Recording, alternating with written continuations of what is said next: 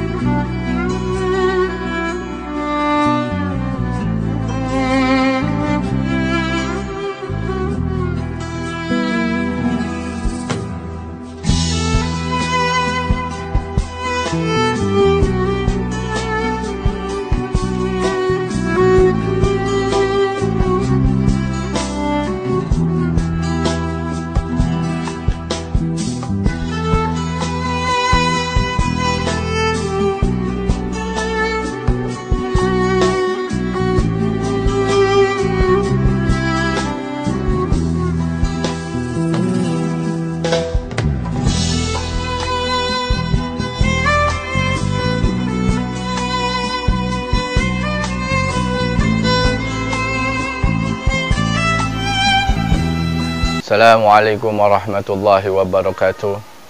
Alhamdulillah Alhamdulillahi rabbil alamin Wassalatu wassalamu ala ashrafil anbiya wal mursalin Sayyidina wa habibina wa syafina wa maulana Muhammadin Wa ala alihi wa sahbihi ajma'in amma ba'du. Baik para sahabat, saudara kami Di mana pun kalian berada Semoga para sahabat saudara kami Di mana pun kalian berada Allah Subhanahu wa taala selalu senantiasa memberikan perlindungannya, keselamatannya, keberkahannya dan para sahabat saudara kami di mana pun kalian berada Allah jauhkan dari segala mara bahaya dan musibah sekecil apa pun. Amin amin ya rabbal alamin. Baik para sahabat pada saat ini kami masih bisa bersilaturahmi ziarah di wilayah Depok Jawa Barat tepatnya di wilayah Depok, Jawa Barat, di wilayah Tapos, ada leluhur terdahulu, pejuang kemerdekaan, yang di mana beliau dimakamkan di wilayah Tapos, Depok, Jawa Barat. Leluhur terdahulu, makam keramat yang ada di wilayah Tapos, Depok, Jawa Barat, dikenalnya dengan Syekh Mahmudin atau Syekh Aulia Mudin. Syekh Mahmudin atau Syekh Aulia Mudin ini berasal dari Samudra Pras, Pasai. Dan beliau, Syekh Mahmudin atau Syekh Aulia Mudin adalah suaminya dari Nyimas Utari Sandi Jayaningsi dari Kerajaan Mataram. Jadi istrinya Syekh Mahmudin dari Kerajaan Samudra Pasai mempunyai seorang istri itu masih cicitnya dari penembahan Senopati Raden Danang Sutawijaya. Dan beliau uh, ayah mertuanya itu bernama Raden Bagus Wanabaya. Nah karena Raden Bagus Wanabaya adalah ayahanda dari Nyimas Utari Baik para sahabat saudara kami, itulah sedikit silsilah riwayatnya dari Syekh Mahmudin yang berasal dari Samudra Pasai yang di mana mempunyai seorang istri bernama Nyimas Utari Sandijaya Ningsi dari Kerajaan Mataram. Beliau berperang jihad fisabilillah melawan penjajahan kolonial Belanda bersama dengan istrinya dan bersama dengan ayah mertuanya yang bernama Raden Bagus Wanabaya bin Ki Ageng Mangir.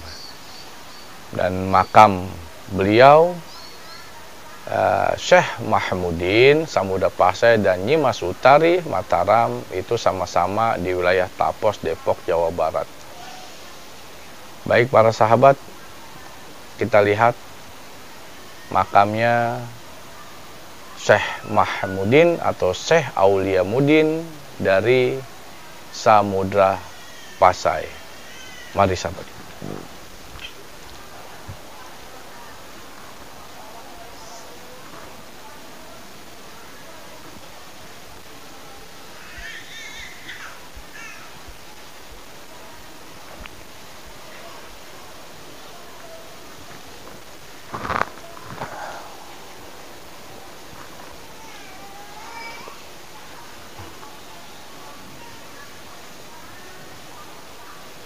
Baik para sahabat, saudara kami, di mana pun kalian berada, inilah makamnya Syekh Aulia Mudin atau Syekh Mahmudin yang berasal dari Samudra Pasai. Yang tadi telah kami sampaikan bahwa beliau adalah suaminya dari Nyimas Utari. Dan Nyimas Utari mempunyai ayah bernama Bagus Raden Bagus Wanabaya bin Ki Ageng Mangir ini Syekh Aulia Mudin atau Syekh Mahmudin ini uh, beliau melawan kolonial penjajahan pada zaman Belanda. Beliau pada terdahulunya uh, tugas beliau adalah telik sandi atau zaman saat ini intelijen.